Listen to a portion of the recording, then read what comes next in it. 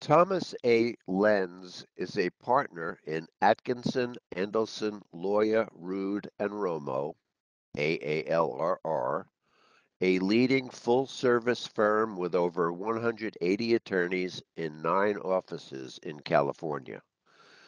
Mr. Lenz handles all aspects of labor and employment law issues and heads the firm's traditional labor and National Labor Relations Board practices. He works with employers in all major industries across California and the West. Mr. Lenz served as chair of the Labor and Employment section for the California Lawyers Association, formerly the State Bar of California, during the 2017 2018 term. He serves as a lecturer in law teaching at the USC Gould School of Law. Visit aalrr.com for further information on the firm. Hello, everyone. I am Tom Lenz. I am a partner in the Atkinson Andelson Law Firm, and I'm pleased to present today's NLRB labor law update for the Center for Continuing Education and I will be talking about a variety of labor law issues arising under the National Labor Relations Act as enforced by the National Labor Relations Board.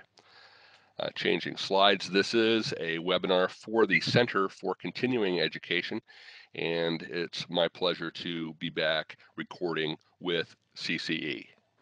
Moving on to the next slide, uh, in this session, our topics are several uh, the National Labor Relations Board, or NLRB, and recent activity, decisions of the National Labor Relations Board, memoranda, rules, and policies which the National Labor Relations Board, as a federal agency, has issued, and a reminder that change is a constant in the field of labor law affecting the private sector, uh, which the National Labor Relations Board covers, uh, there is a variety of changes, uh, always from uh, administration to administration.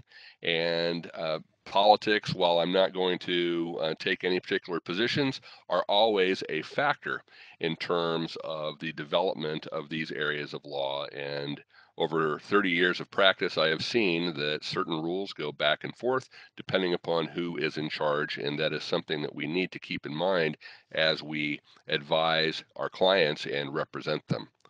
Moving on to the next slide, uh, an overview about the National Labor Relations Board for those who may not be familiar with the agency.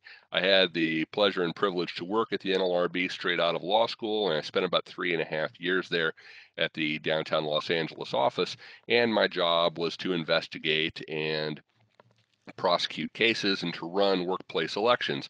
And fundamental to what the National Labor Relations Board does in enforcing the National Labor Relations Act is to protect the rights of employees under Section 7. Section 7 is the fundamental uh, set of rights employees have to engage in activities relating to unions, to engage in activity for mutual aid and protection on wages, hours, and terms and conditions of employment, as well as to refrain from such activity. So you have a right to say, yes, I want a union, yes, I want to engage in concerted activity, or no, I do not want to engage in such activities. The National Labor Relations Board has two principal functions in light of those rights to enforce the law to ensure that workers can freely exercise their rights under Section 7 without interference from employers or unions, as well as to hold secret ballot elections where workers can choose whether or not to have union representation. Moving on to the next slide, here is a uh, chart which uh, reflects the current composition of NLRB offices. And while I'm not going to go through this chapter and verse, you can see uh, that there are various layers simply to headquarters. Uh, at the National Labor Relations Board. And then if you look on the right, you'll see regional offices. In California, we have four different regional offices. There are over 30 regional offices across the country. Uh, at the top of the chart, you'll see the board, which is uh, a, a, group of five persons appointed by the president and typically confirmed by the Senate. And uh, depending upon who is president, you will see three of the president's party and two of the other party uh, in composing the board. They uh, create regulations, but uh, more frequently they are involved in deciding cases and perhaps overturning precedent that um, may have existed in the past. And we see from one administration to another that the board is um, changing the rules. Uh, we saw that under the Obama administration, we see that now under the Trump administration, and we will presumably see that again as uh, another administration in the future uh, comes into play. Uh, the general counsel is an attorney appointed by the president and confirmed by the Senate who oversees the day-to-day operations and policy development of the agency. Uh, the general counsel has oversight uh, over all of the offices in California, uh, which have their respective regional directors. But the general counsel really comes up with a lot of important things that will affect the cases that we handle, uh, perhaps more directly than than anything. I want to talk about some noteworthy decisions as we move to the next slide.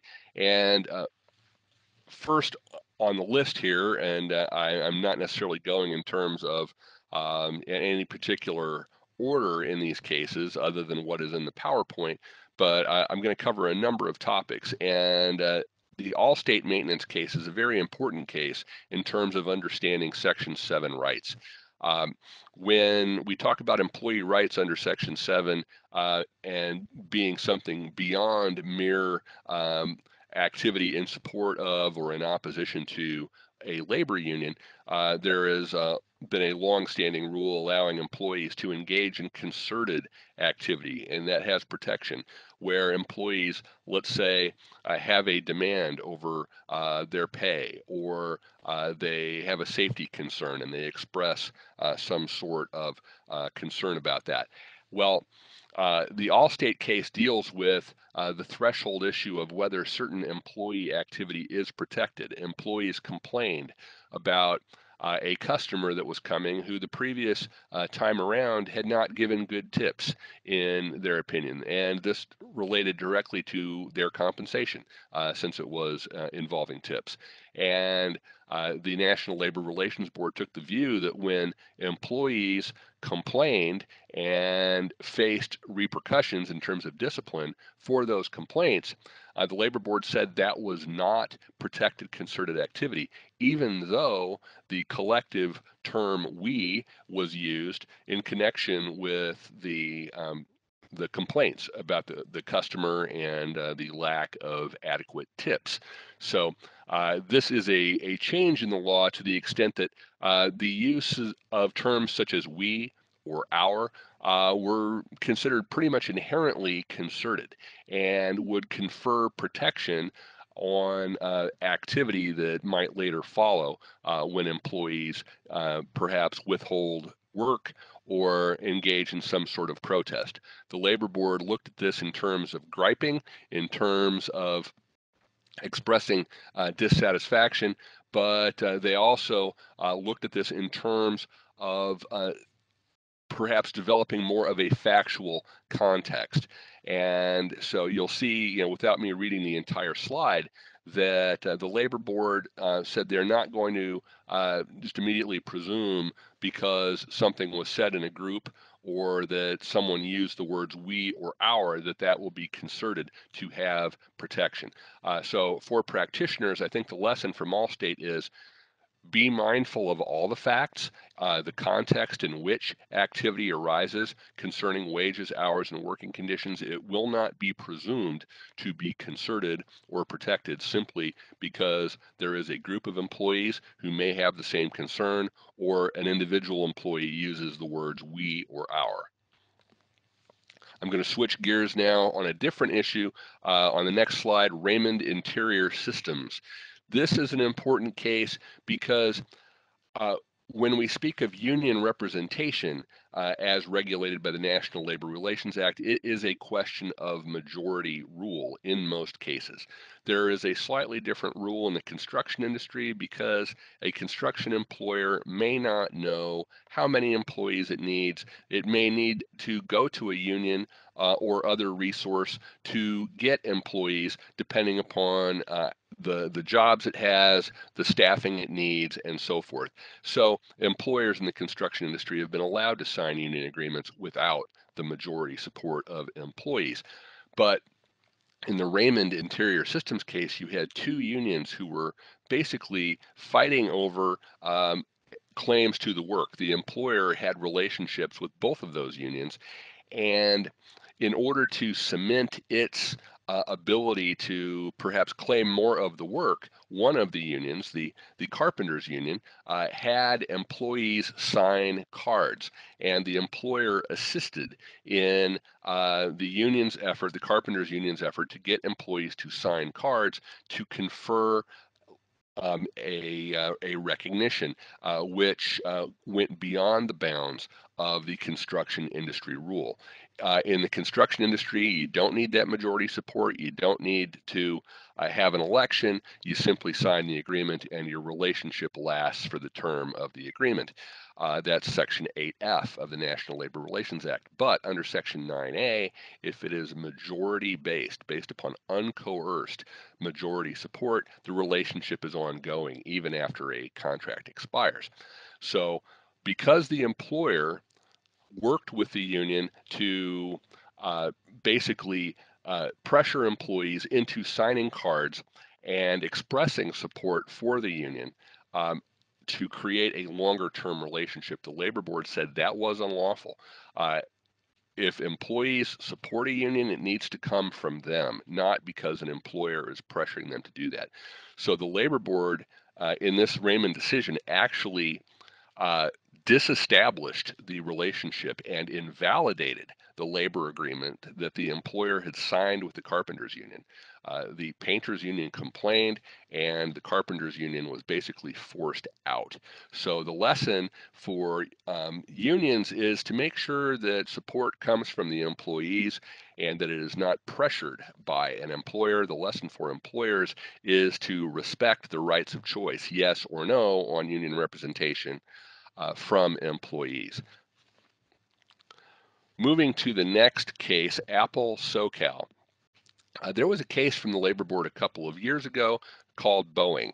In the Boeing case, the Labor Board uh, opened the door for employers to um, revisit their workplace policies, their employee handbooks, and to regulate things such as civility and um, employee speech in the workplace, um, and, and, other issues which might be addressed by an employee handbook. Um, prior to Boeing, the Labor Board was engaging in deep examination of employer policies and handbooks and declaring many of them to be unlawful. Uh, and uh, this was uh, a, a big change, a big switch for a lot of employers who felt that you know, what's the labor board doing looking at an employee handbook in a non-union workplace? Uh, well, the labor board took a very serious view during that time, pre-Boeing, on concerted activities, the protections of Section 7, and whether policy language might tend to interfere with uh, employees' rights, whether or not there was actually an employee who was a victim of some sort of adverse activity. Well, Boeing said employers have greater leeway uh, to create and enforce policies so long as there is not uh, some sort of impact on Section 7 rights.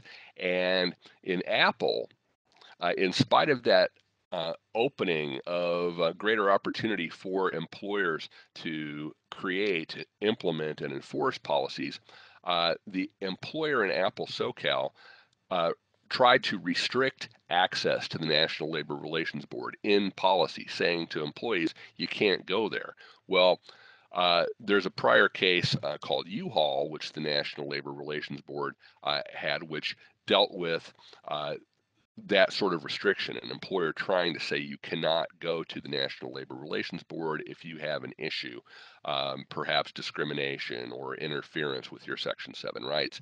The Labor Board said, in spite of Boeing, they are going to rule that an effort in policy language to restrict employees' access to NLRB remains unlawful in spite of Boeing. That is something that crosses the line and interferes with employees' rights under federal labor law. Uh, switching gears again, uh, the next slide involves the Ruprecht company. And in Ruprecht, uh, you have the balance between a collective bargaining relationship between an employer and a union where there are mutual duties to bargain in good faith, um, as well as a question under immigration law of participating in e-verify. Now, uh, those of us who practice in California know that the state of California has its own view on participation in e-verify, and uh, there are certain um, you know, certain things that employers need to be mindful of before they embark uh, on uh, use of E-Verify.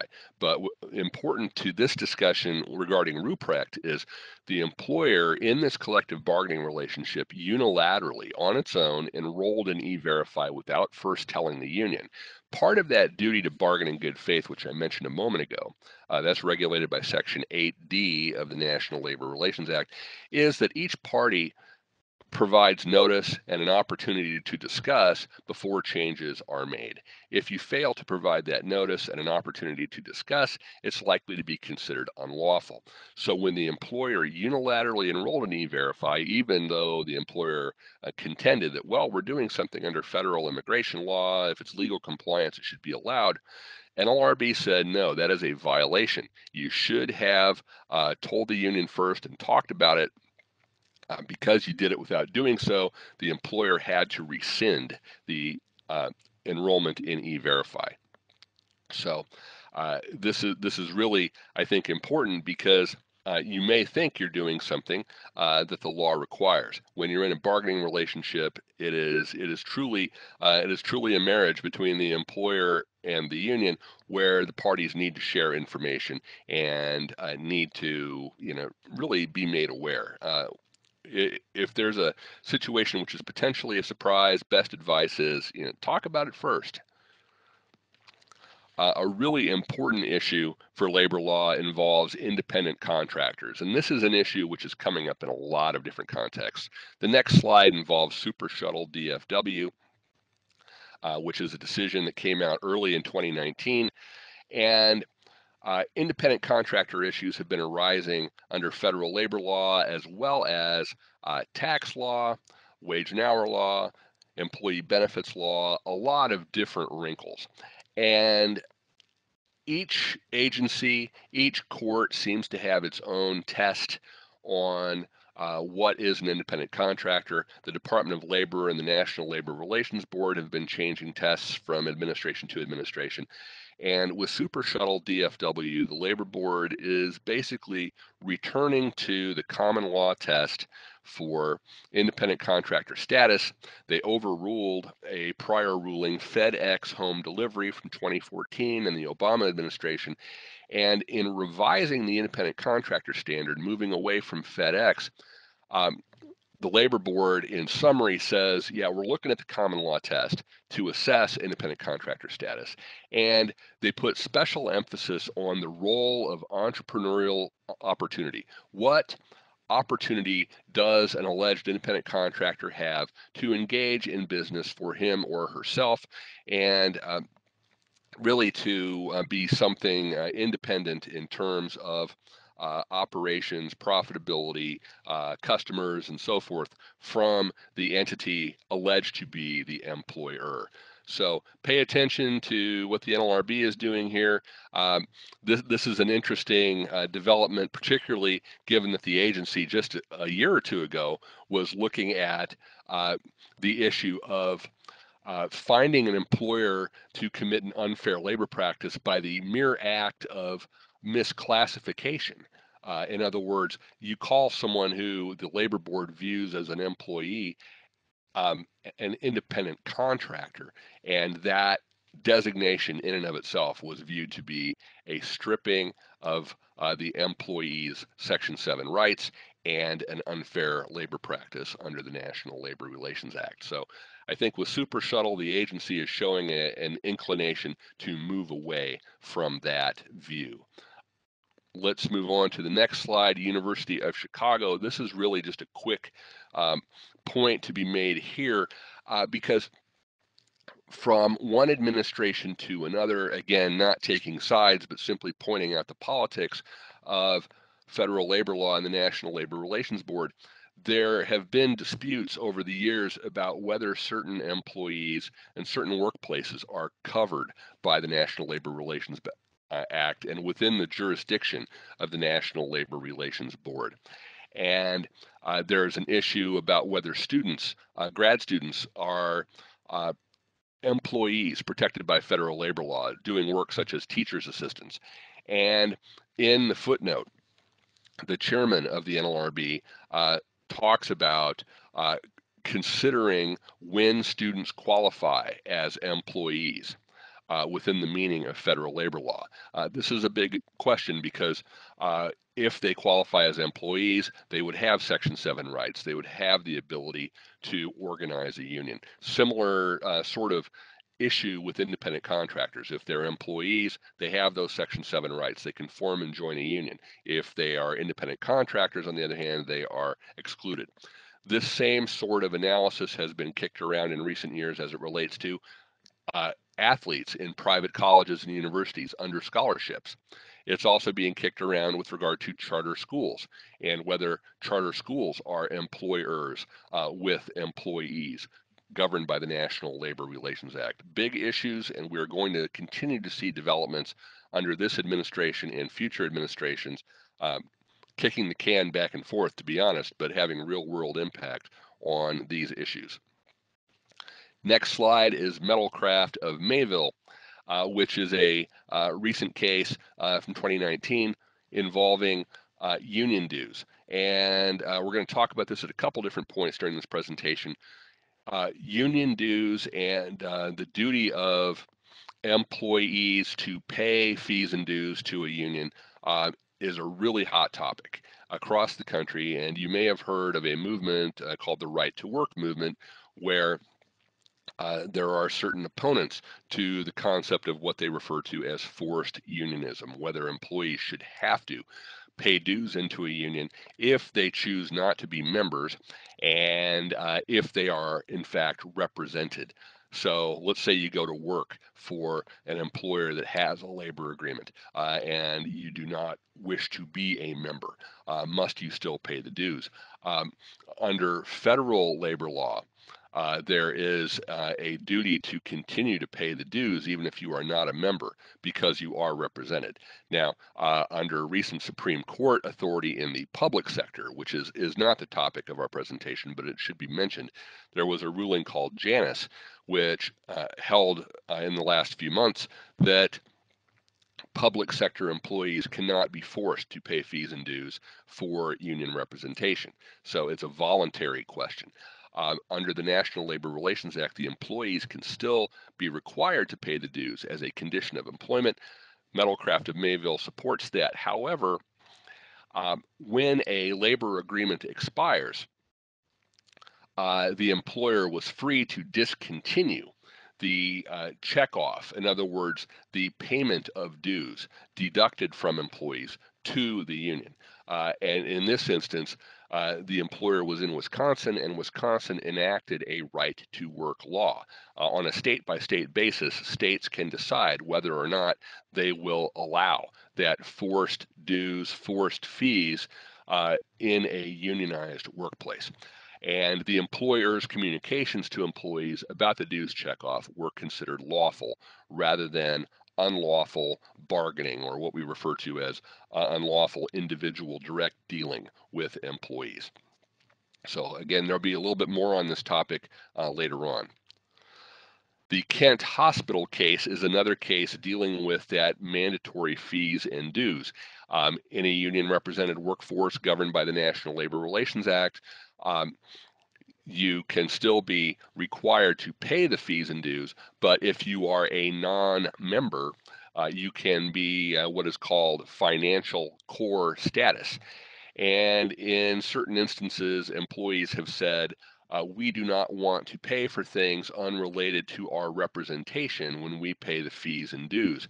Um, as a result of Supreme Court cases going back to the 80s, uh, in particular communication workers versus Beck, the Supreme Court has told unions that they need to account for what portion of the fees and dues uh, they receive uh, is related to representation as opposed to uh, other sorts of expenses, maybe lobbying or um, things unrelated to representation. So unions have been unhappy about that, having to account and perhaps refund uh, dues and fees money to employees.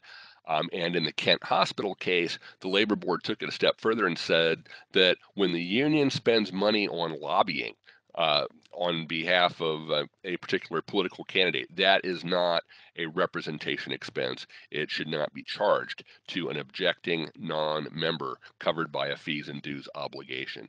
So uh, the Labor Board said the union security rules authorize the exaction of only those fees and dues necessary to perform the duty of a bargaining representative. Uh, so uh, this is something that is perhaps going to cause certain employees to speak out request refunds, and it's going to cause unions to have to do more um, more accounting work to figure out um, how much needs to be refunded to an objecting employee. Um, Anheuser-Busch is an important case that uh, came out in May 2019. Uh, that's on the next slide. And um, arbitration is a big issue under federal labor law um, as well as under employment law.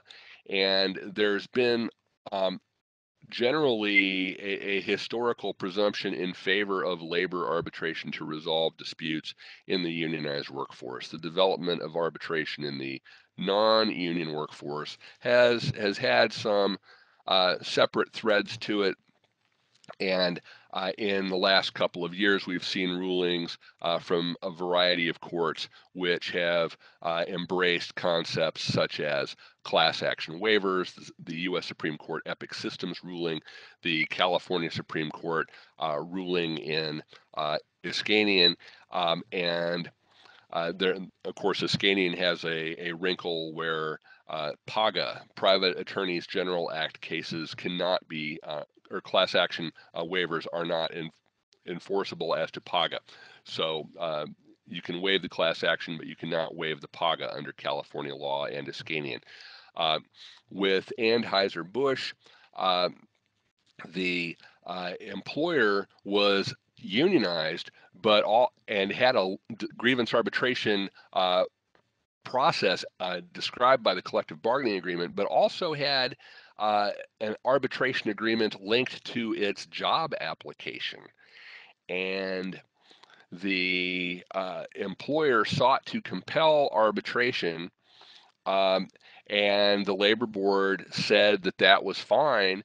Um, and uh, when, when the employee challenged uh, his termination, and the labor board allowed the employer to compel arbitration in court um, rejecting a National Labor Relations Board charge that was inappropriate. So uh, we are seeing a, an increased focus on arbitration in the non-union as well as the unionized workplace to resolve disputes outside of court. This being uh, one more case in that regard, Anheuser-Busch. Next slide, Entergy, nuclear operations. I, I, think this is an important case simply to point out that uh, in the prior administration, uh, the labor board had really expanded employee rights. Cases like Starbucks and Pier 60 uh, showed employees um, going um, to great extremes with profanity and tirades against employers, and the labor board concluding that that was protected activity, perhaps provoked by an employer. Uh, it would be considered concerted, and a, an employee who was disciplined or discharged uh, might be actually reinstated uh, after a profane tirade.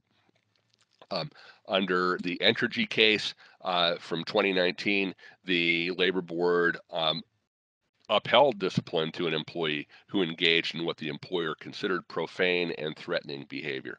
So again, remember that the the uh, labor laws and employee protections under Section 7 have a sliding scale depending upon who is elected, who is in charge. Next slide, Electrolux Home Products.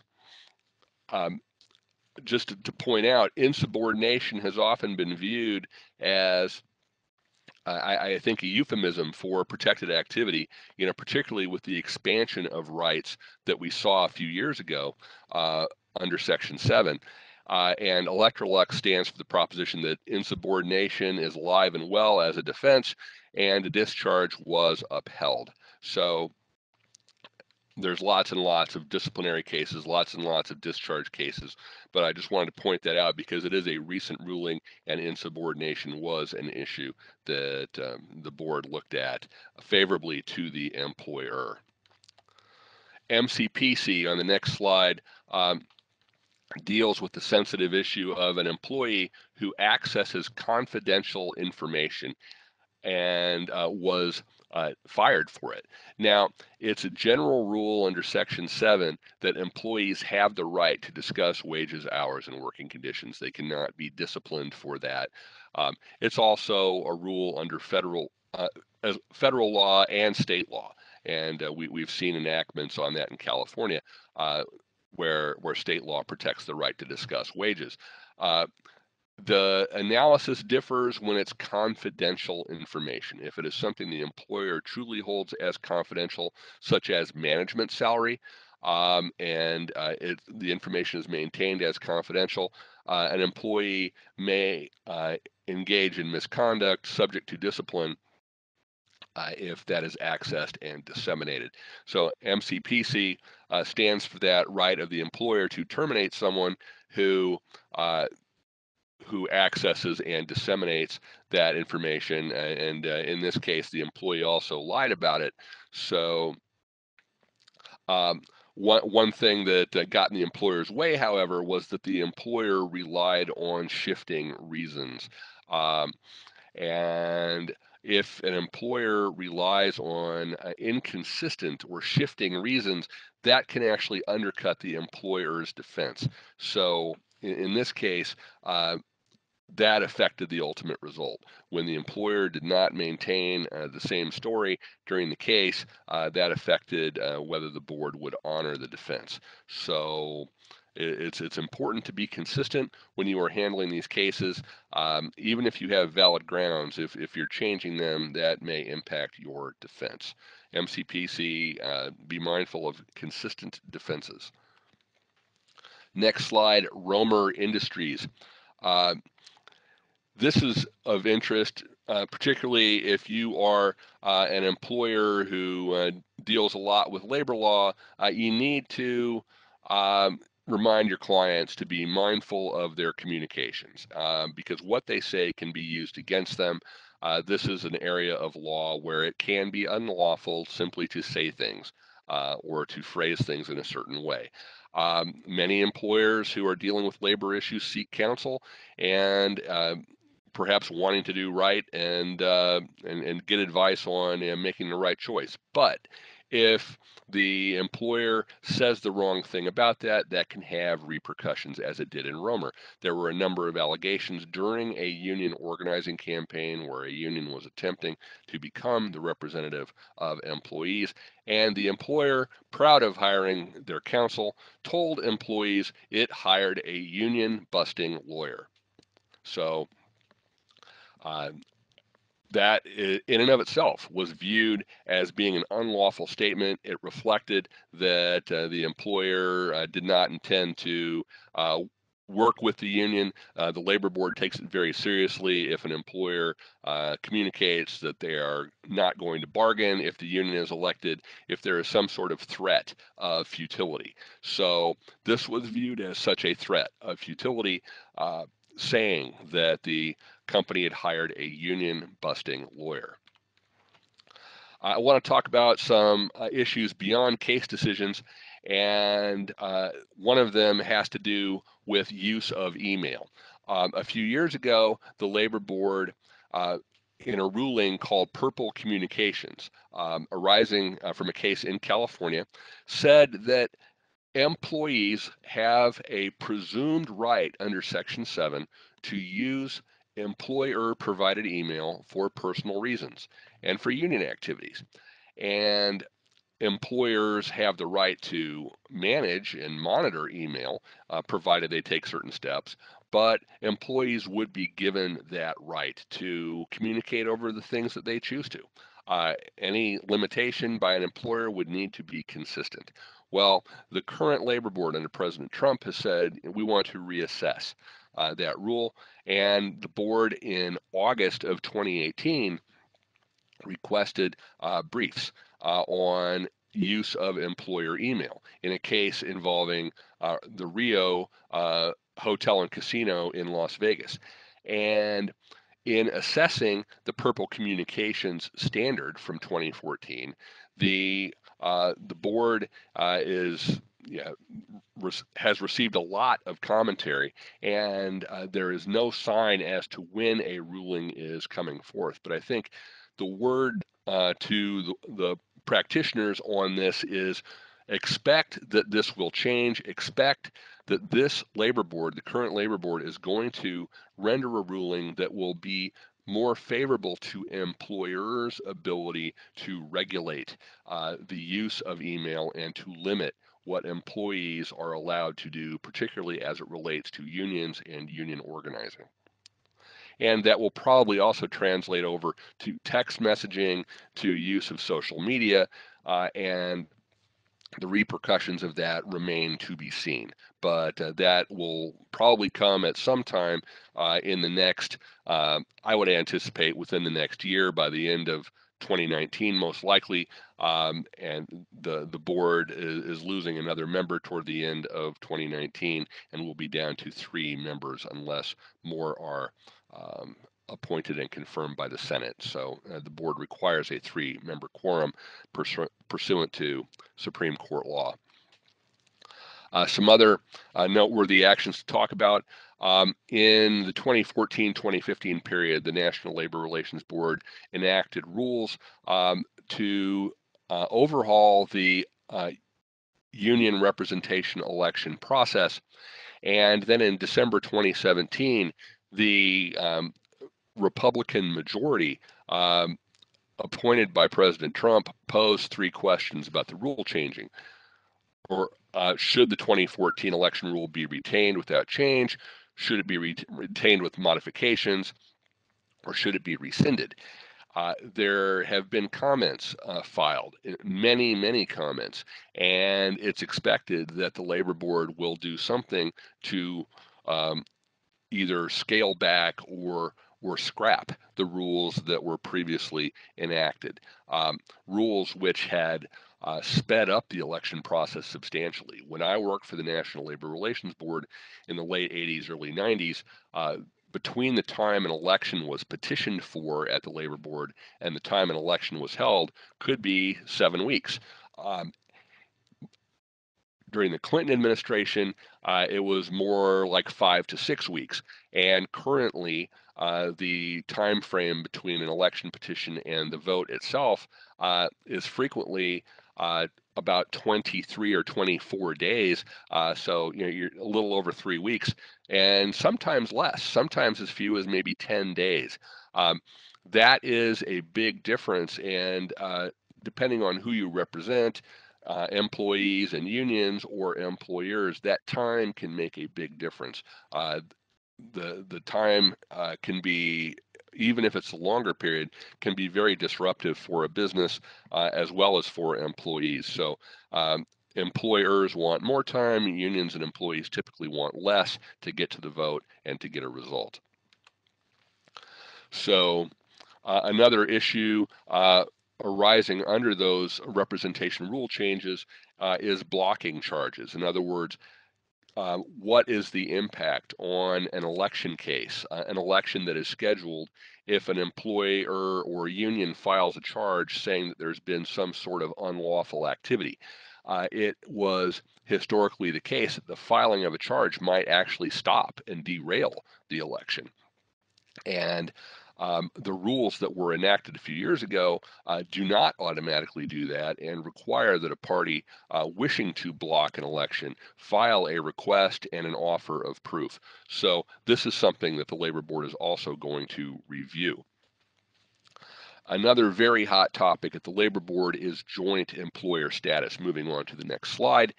And uh, with joint employer status, uh, you have a question of uh, multiple employers, perhaps um, employers in a joint venture, um, a general contractor and a subcontractor, um, a, um, a company and a staffing company uh, working together, being held to shared liabilities for unlawful conduct, or potentially even being held to a joint bargaining relationship with a labor union, which has organized a pool of workers who work for both entities. Uh, there was a case the Labor Board came out with a few years ago called Browning Ferris Industries. And that case has been really the focal point for discussion on, on this issue, whether the Labor Board should rely on um, what, uh, what they termed either actual control of both employers or potential control by both employers to confer joint employer liability and obligations. So this is an issue under consideration by the Labor Board.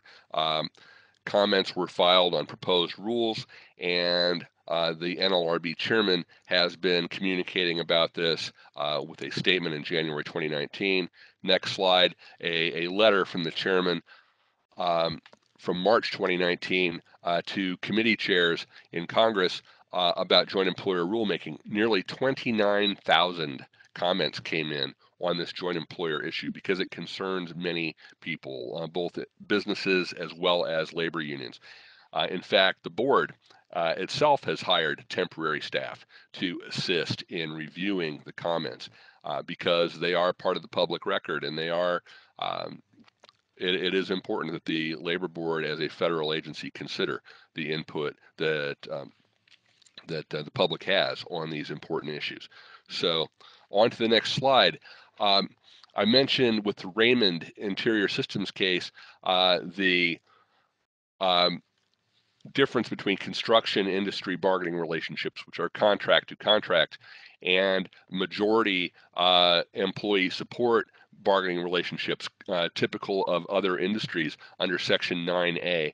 Um, the Labor Board has for many years uh, prosecuted employers in the construction industry when they uh, when they consider a labor agreement to have expired and they cease recognizing the union. Uh, because many times unions have inserted uh, clauses in the labor agreements which say that a majority of employees want the union to represent them when there may be actually no evidence to support that. So that issue of uh, whether boilerplate language can confer a long-term bargaining relationship which exceeds the term of an expired construction labor agreement. Um, it, it's something that concerns the labor board right now.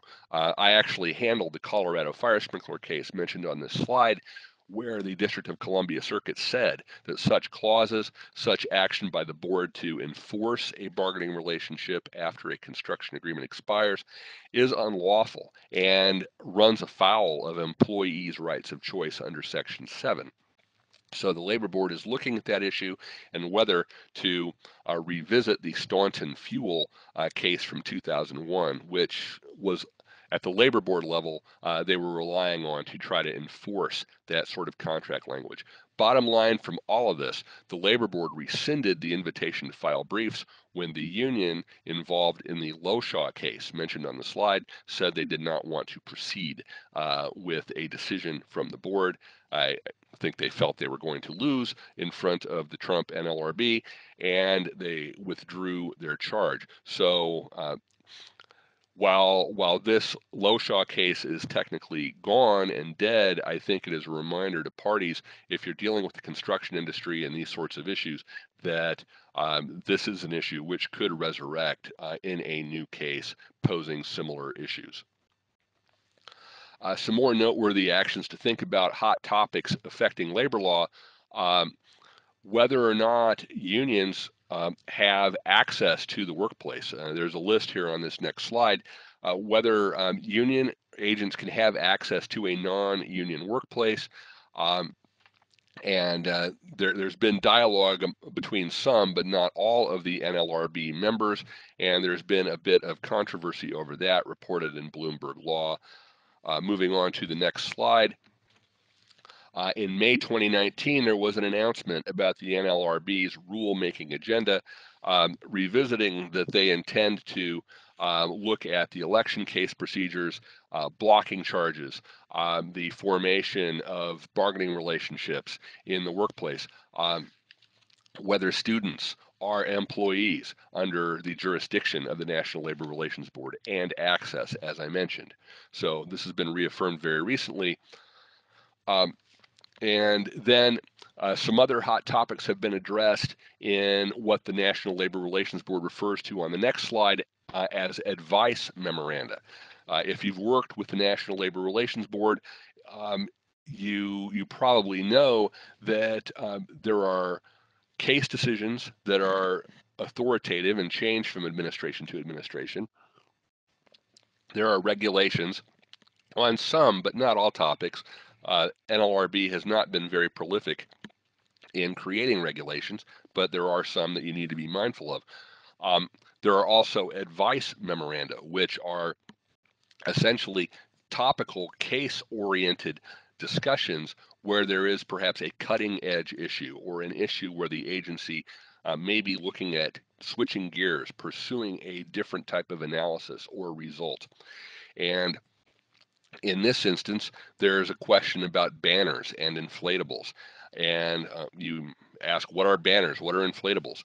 Well, in uh, in under labor law, uh, we see that unions often engage in uh, forms of communication, protest, such as picketing, where uh, where there are demonstrators who carry signs, who perhaps um, uh, walk in a certain area, uh, Another way that uh, they communicate with the public is with stationary banners, uh, which you may see uh, where you are. Things that say such things such as "shame on," uh, you know, name the business for undermining labor conditions. Uh, banners say a number of different things, perhaps the same thing that a picket sign might say, but rather than being carried by someone walking around, it is stationary. Uh, the question has arisen whether banners are unlawful, and the Labor Board years ago, um, as well as the Ninth Circuit Court of Appeals, said they distinguish banners from picketing. They consider picketing to be potentially unlawful because it is confrontational with the patrolling around, uh, while stationary banners are not. They are simply communication in the realm of um, non confrontational free speech, even if the message is the same.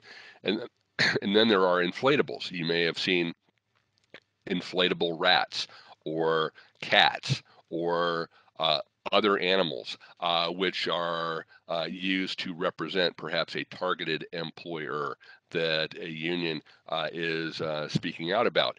And uh, again, the inflatables have been considered to be non confrontational because they are not patrolling or moving around. Well, in May 2019, NLRB issued the advice memorandum uh, in the case of IBEW Local 134 and directed prosecution of the labor union because of the banner and the inflatable, uh, saying that they felt it was a violation of Section 8B4, which is a section regulating union picketing and threats thereof. Uh, particularly in this instance, where it is attempting to pressure one employer uh, by um, by going to uh, perhaps a customer or uh, a third party that that employer does business with.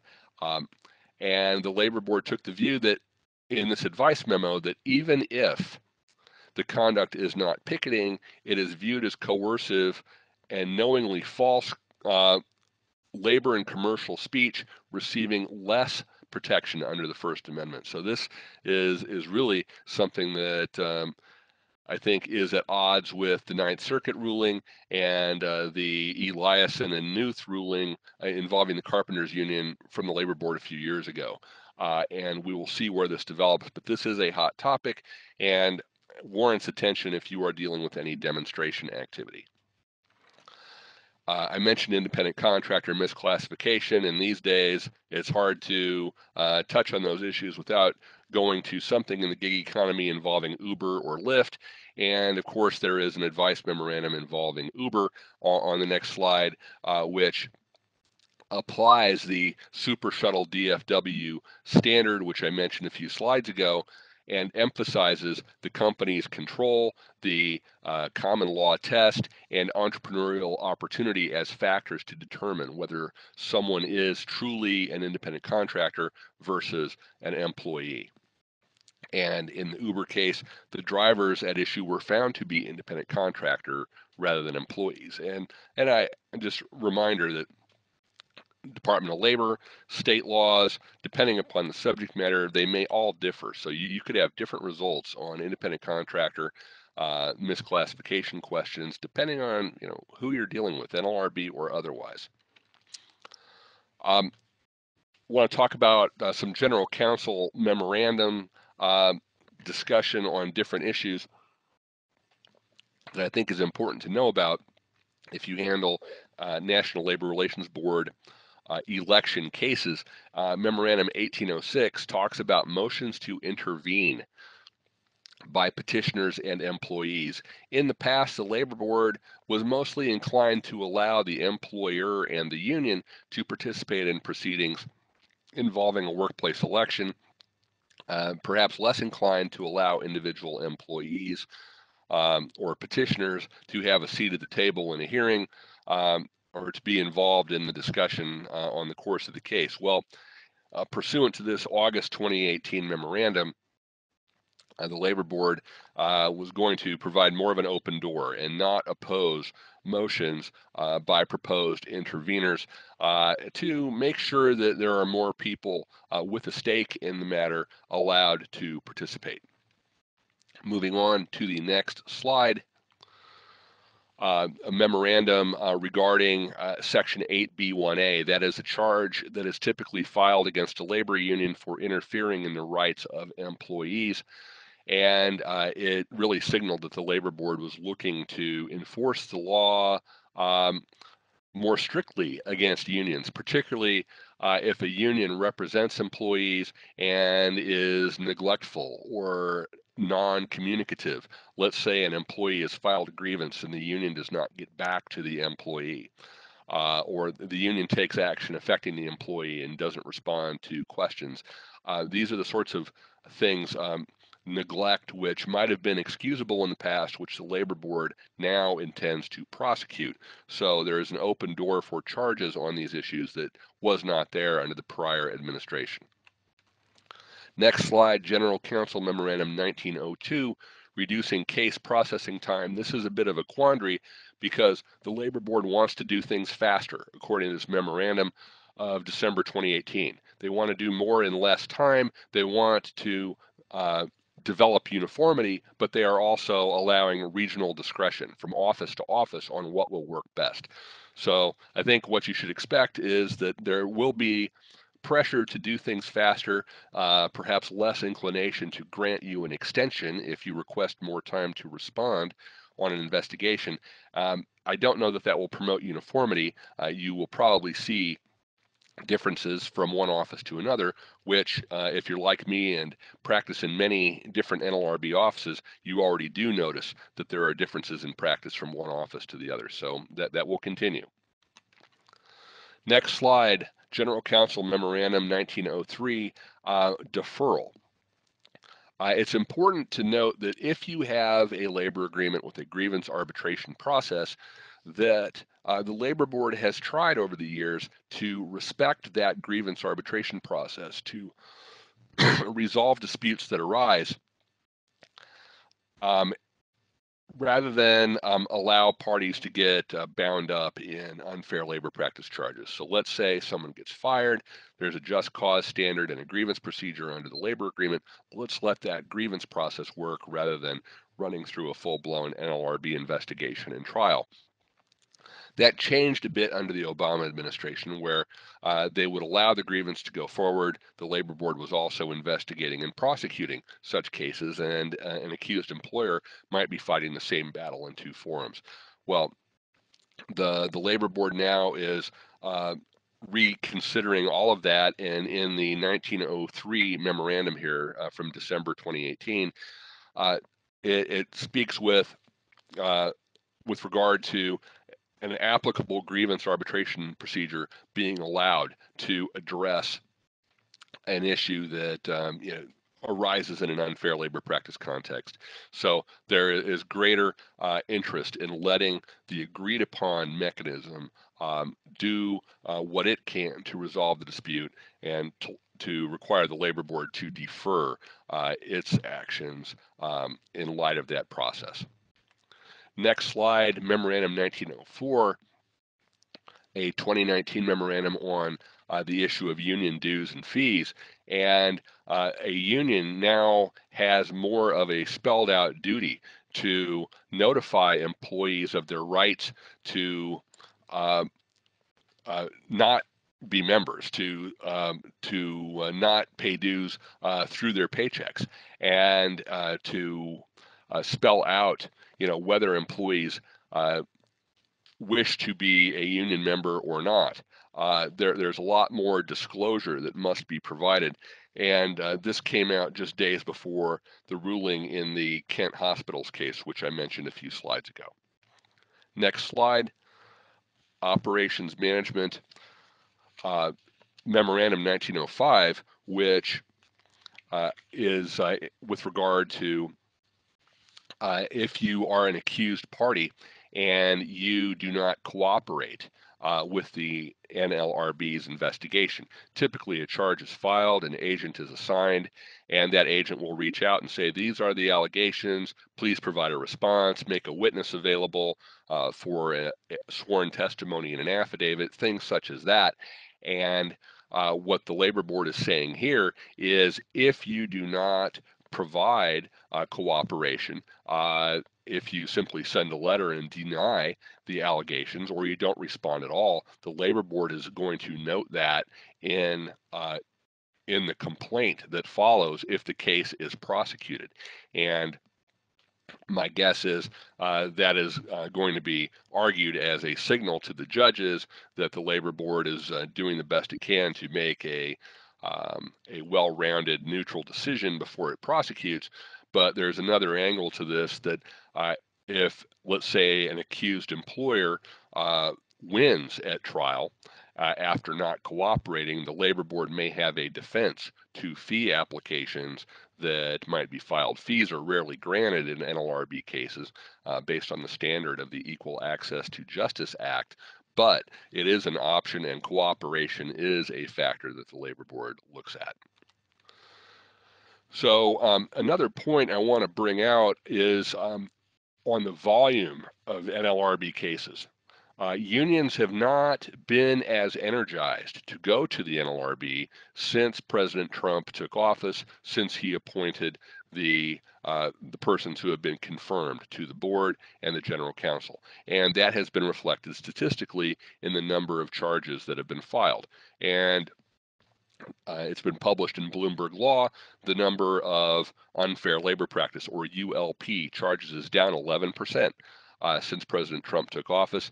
And many unions are, uh, frankly, uh, very open about they are choosing their battles more carefully, uh, where they might have filed charges um, in uh, in the past. They are being more selective um, because they don't want to develop bad law. Uh, they, uh, there is actually a, a, belief that filing charges may be dangerous uh, by some unions if um, the issue is something that attracts the attention of the current NLRB. So that is a um, a question I, I think we all deal with. You know, do we want to pick our battles uh, and uh, you know are, are, are, some issues more valuable than others to raise? And, and, that is one that is certainly getting consideration these days with NLRB. Um, just generally looking at case handling numbers, you can see that the volume of cases has has changed. uh, the number of charges and complaints has gone down um, to the extent that um, there are uh, cases determined to have merit. Uh, there are a lot, a lot of settlements. Most NLRB cases where merit is found uh, do settle, and that is historically consistent with um, with NLRB's uh, case handling uh, practice and success in getting resolution. Uh, with election petitions on the next slide, um, you'll see that uh, the numbers are also down, and that's in spite of the uh, change in election rules a few years ago, which the Obama administration very openly uh, enacted to encourage more elections and more union organizing activity. So even though the number of elections is down, the union's winning percentage continues uh, to be high. Unions win uh, close to 70% of the elections that are held uh, in the workplace. Um, when the NLRB's own internal administrative processes are not enough to resolve an unfair labor practice. Uh, on the next slide, Memorandum 1805, the Labor Board has the authority to go into federal court to seek injunctions under uh, Section 10J of the National Labor Relations Act. Uh, because uh, in the Labor Board's view, uh, yeah, standard remedies do not suffice, and interim relief is needed until the board can achieve an appropriate ruling. So the Labor Board in Memorandum 1805, General Counsel Memorandum 1805, has committed to continue to pursue Section 10J relief. Uh, under the Trump administration, uh, the Obama administration, NLRB, was very active in pursuing Section 10J proceedings. And uh, they want to consider these issues before an unfair labor practice trial rather than after. Moving to the next slide with the chart, uh, you'll see that um, the the number of authorizations um, has been high. Many cases uh, settle when uh, 10J petitions uh, are authorized by the board. A regional office requests approval from DC to do this. And uh, you'll see that in spite of this commitment, uh, the number uh, or, or, the 2018 um, numbers are definitely lower than what we've seen in the past. So there are fewer Section 10J uh, cases that are going forward, uh, and perhaps part of that has to do with the lower volume of charges being filed. But uh, th- this is certainly a, a um, potent weapon that the labor board has to resolve unfair labor practice issues.